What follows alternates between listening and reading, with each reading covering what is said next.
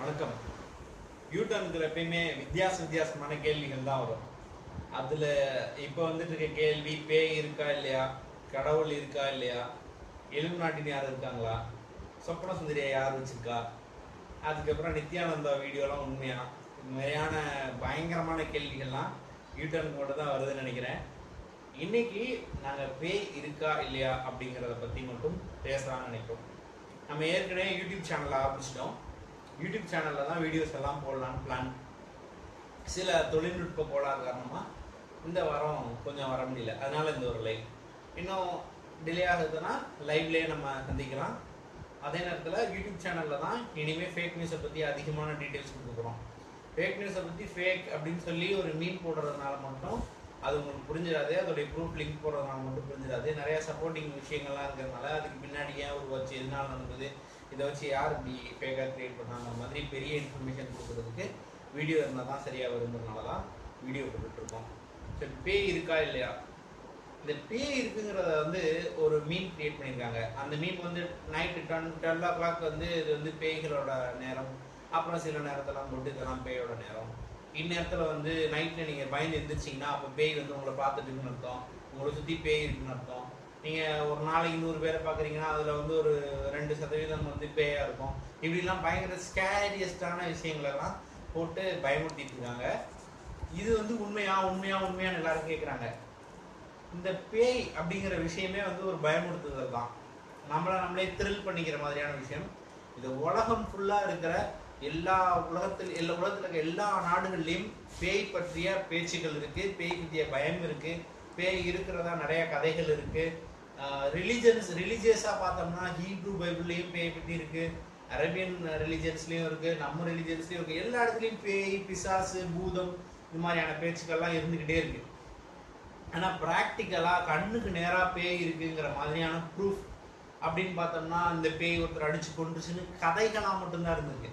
நேரடியாக நம்ம பார்த்து ஆமாம் பேய் இருக்குது அப்படின்னு நம்ம நம்புகிற மாதிரியான விஷயங்கள்னு பார்த்தா ரெண்டு தான் அந்த ரெண்டில் ஒன்று நைட்டு நான் தூங்கிட்டு இருந்தேன். இதை நிறைய பேர் சொல்லியிருப்போம். நம்மளும் கூட எக்ஸ்பீரியன்ஸாக இருக்கும் நைட் நான் தூங்கிட்டு இருந்தேன். இல்லை நான் ஒரு இடத்துல தூங்கிட்டு இருந்தேன். என்னை போட்டு யாரோ அமுக்குற மாதிரி இருந்தது. நான் கத்துறேன் கூப்பிட்றேன். யாருக்குமே கேட்கல நான் வந்து எந்திரிக்க ட்ரை பண்ணேன் பட் என்னால் முடியல. எனக்கு தெரியுது.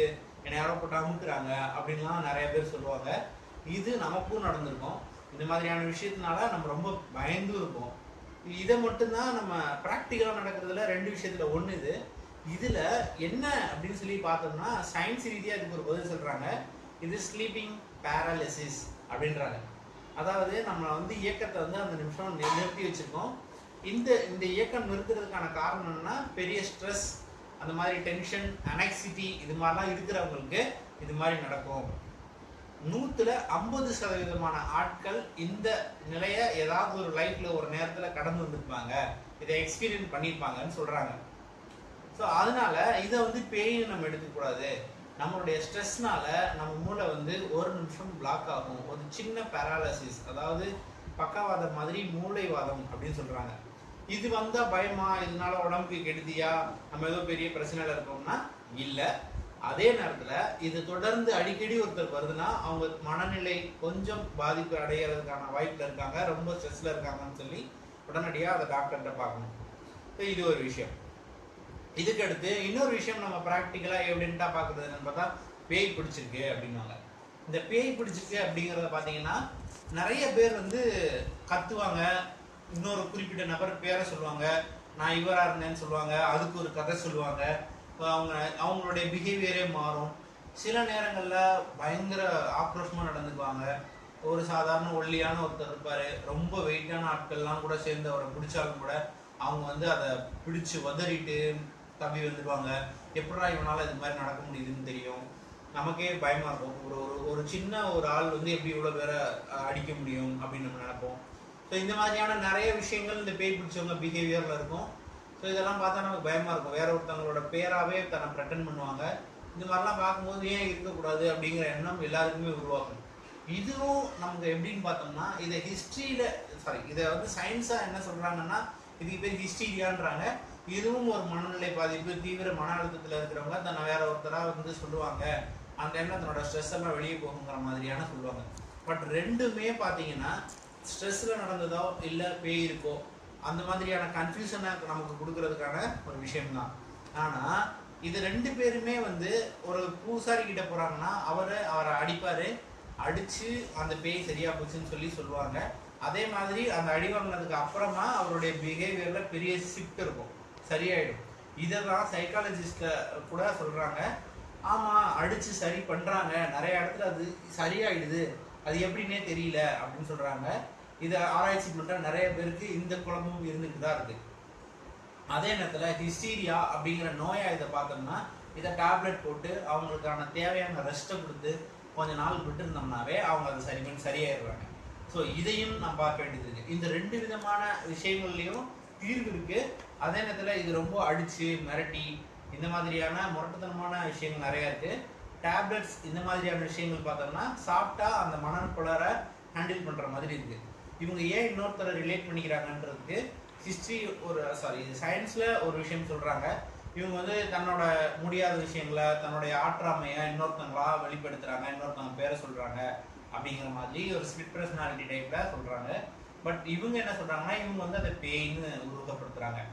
ஸோ இது மாதிரி மட்டும்தான் உலகத்துல பேய்ங்கிறது எவிடென்ட்டா நம்ம கண்ணுக்கு நேராக பார்க்கறதுக்கான இந்த ரெண்டு விதங்கள் தான் நம்ம இருக்குங்கிற மாதிரியான நம்பிக்கைகளை ஏற்படுத்துது. அதே நேரத்தில் இவங்க மிச்சவங்க சொல்ற கதைகள்லாம் பார்த்தா தேவையில்லாத கதைகள். இவங்க நைட்டு போகும்போது பேய் வந்தது அடிச்சது அப்படிங்கிற மாதிரியான கதைகள் எல்லாம் நம்ம சின்ன வயசுல இருந்து பழக்கி பழக்கி நமக்கு நம்ம பாத்ரூம் போறது கூட பயப்படுற மாதிரியான ஆட்கள் ஆயிட்டோம். இந்த பேய் இருக்குங்கிறது மிகப்பெரிய கதை. அது ஒரு த்ரில் அது ஒரு ஜாய் அது ஒரு வியாபாரமும் கூட. சில பல நேரத்தில் அதை பார்த்து பயந்து தன்னுடைய ப்ரொடக்டிவிட்டியை கம்மி பண்ணிக்கிறது மாதிரியான முட்டாள்தனம் வேறு எதுவுமே கிடையாது. இன்றைக்கும் கூட இந்த மீமை பார்த்து ஒரு பேஜ் போட்ட மீமை பார்த்துட்டு இவ்வளோ பேர் கேட்கும்போது ஆச்சரியமாக இருக்குது அப்படியா அப்படியா? அப்படின்னு கேட்கும்போது பயங்கர ஆச்சரியமாக இருக்குது பெயின்னா எதுவும் இருக்கிறதா தெரியல. நான் தனியாக இருக்கிற பழக்கம் எனக்கு அதிகமாக இருக்கும். தனியாக தூங்குற பழக்கம் அதிகமாக இருக்குது எனக்கு என்னைக்கும் பேய் வந்து நான் பார்த்ததா சரித்திரம் இல்லை. அதனால எப்போ நம்ம பயப்படுறோமோ எதை நம்ம நம்புறோமோ அந்த நம்பிக்கை தான் நமக்கு பயத்தையும் தெரியும் ஸோ நீங்க நம்பினீங்கன்னா நிச்சயமா உங்களுக்கு பேய் இருக்குங்கிற பயமும் வரும். நீங்க நம்பல அப்படின்னா நிச்சயமா அந்த பயம் வராது. அடுத்து நிறைய கொஷின்ஸ் அனுப்பிட்டே இருக்கீங்க. நாங்க வேகமாக உங்களுக்கு பதில் தர்றதுக்கு ரொம்ப சிரமப்பட்டு பதில் அனுப்பிட்டு இருக்கோம். பட் எல்லாத்துக்கும் எங்களால பதில் சொல்றதுல ரொம்ப சிரமம் இருக்கு. வாட்ஸ்அப் நம்பர் ஸ்டார்ட் பண்ணிட்டு எதுக்குன்னு பாத்தீங்கன்னா உங்களுக்கு மீன்ஸ் எல்லாம் கொஞ்சம் வாட்ஸ்அப் ஈஸியா கிடைக்கட்டும் அப்படிங்கிறதுக்காக தான் பட் அங்கே எங்களால் ரிப்ளை பண்ண முடியல. மெசஞ்சரில் பார்த்தீங்கன்னா கண்டிப்பாக அதை ட்ராக் பண்ணி எனக்கே ஒரு நாள் கண்டிப்பாக பதில் சொல்லிடுவோம். அதுக்கு கொஞ்சம் லேட் ஆகுறதுக்கு இது பண்ணுறோம் அதே மாதிரி நாங்கள் டக்குன்னு ஒரு ப்ரூஃப் பார்த்தோன்னா இன்னொரு இந்த விஷயத்தை பார்த்து ஒரு ப்ரூஃப் பார்த்தோம். உடனே இது போட்டுறணும் போட முடியல. கொஞ்சம் படித்து பார்த்து அடுத்து அதுக்கு மேலே எதுவும் ப்ரூஃப் இருக்கா? அதுக்கு எதுவும் கான்ட்ரவர்சி இருக்கான்னு கொஞ்சம் தேடி போட வேண்டியது இருக்கனால கொஞ்சம் டிலே இருக்குது அப்புறம் ரொம்ப ரொம்ப தேங்க்ஸ் எங்களுக்கு ரொம்ப சீக்கிரமாக நாங்கள் இப்போ தேர்ட்டி சிக்ஸ் தௌசண்ட் லைக்ஸ் வந்துட்டோம். இனியும் வேகமாகவே வளர்ச்சி இருக்கும்னு நினைக்கிறேன். எல்லாருமே ninety nine percent positive comments மட்டும்தான் அந்த பேஜுக்கு இருக்குது எத்தனை பேஜுக்கு இது மாதிரி வாய்ப்பு இருக்கும்னு தெரியல. ஆனால் எங்கள் பேஜை பொறுத்த வரைக்கும் ninety nine percent positive response தான் நாங்கள் நாங்க இது ஒரு யூடியூப் சேனல் ஆக்கணும் அப்படிங்கிற கனவோடு தான் இருக்கும். இது வந்து ஒரு யூடியூப் சேனலாக இருந்து நிறைய அவேர்னஸ் கிரியேட் பண்ணோம். ஒரு மீன் பக்கமாக மட்டும் இது இருந்து விடக்கூடாதுன்னு நாங்கள் நினச்சிட்டு இருக்கோம். அதே மாதிரி ஒரு ஒரு சில மீன் பேஜஸ் உடைய அரசியல் பார்வை அரசியல் தெரியாம அரசியல் பேசுறது இல்ல தவறான செய்திகளை ரொம்ப சாதாரணமா பரப்புறது இல்ல ஒரு அரசியல் கட்சி சார்பாக ஃபேக் நியூஸை உருவாக்குறது. அதாவது ஒரு குறிப்பிட்ட ஆட்கள் வந்து நல்லவர்கள் மாதிரியும் இல்ல ஒரு குறிப்பிட்ட ஆட்கள் தவறானவர்கள் மாதிரியும் கிரியேட் பண்றது மாதிரியான நிறைய சம்பவங்களை நேர்ல பார்த்ததுனால தான் இந்த பேஜ் ஆரம்பிச்சோம். சரியான செய்தி தப்பு. ஒருத்தர் வந்து தவறான ஆளா நம்ம நினச்சிக்கிட்டு இருந்தாலும் அவரை பத்தி உண்மை செய்தியை மட்டும் நம்ம சொல்லணும் அப்படிங்கிற மாதிரியான எண்ணத்தோட ஆரம்பிக்கப்பட்டது தான் இந்த பேஜ் ஸோ ஃபேக் ரியல் அப்படிங்கிற விஷயத்த தெளிவாக உங்களுக்கு கொடுக்கணுங்கிற ஆசையிலையும் அதற்கான வேலையும் செஞ்சிட்ருக்கோம். இதுக்கு நீங்கள் தொடர்ந்து ஆதரவு தரணும். யூடியூப் சேனலுக்கு நீங்கள் எவ்வளோ தூரம் எங்களுக்கு சப்போர்ட் பண்ணுறீங்களோ அதை வச்சு தான் எங்களால் தொடர்ந்து இதை நான் ரொம்ப நல்லா பண்ண முடியும்னு நினைக்கிறேன். அப்புறம் ஏதாவது ஒரு மனித வளம் அப்படிங்கிறது ஒரு ரிசோர்ஸ் கிடைக்கிறது பெரிய விஷயம். பத்து பேர் சேர்ந்து ஒரு இடத்துல உட்காந்து ஒரு விஷயத்தை மாற்றலாம் நூறு பேர் சேர்ந்துருந்தா பெரிய விஷயத்தை சாதிக்கலாம். இன்னைக்கு நம்ம முப்பத்தாறாயிரம் பேர் இருக்கோம். நம்ம இன்னமும் பெரிய விஷயங்களை செய்யணும் அப்படின்னு ஒரு சமூக பொறுப்பாகவும் நாங்கள் இதை பார்த்துட்டு இருக்கோம். அதனால சின்ன சின்ன சேவைகளை செய்யலாம் அப்படின்னு முயற்சி பண்ணிட்டு இருக்கோம். நாங்கள் எங்களுடைய கையிலிருந்து பணத்தையும் கொடுத்து செலவு பண்ணலாம்னு நினைக்கிறோம்.